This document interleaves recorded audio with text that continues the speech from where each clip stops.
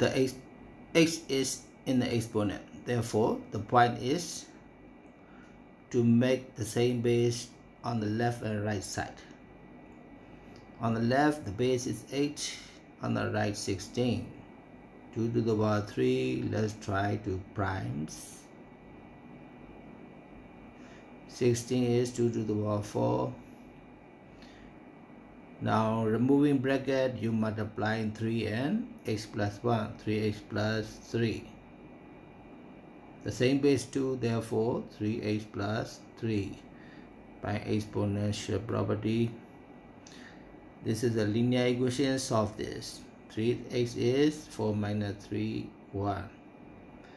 x is equal to 1 third.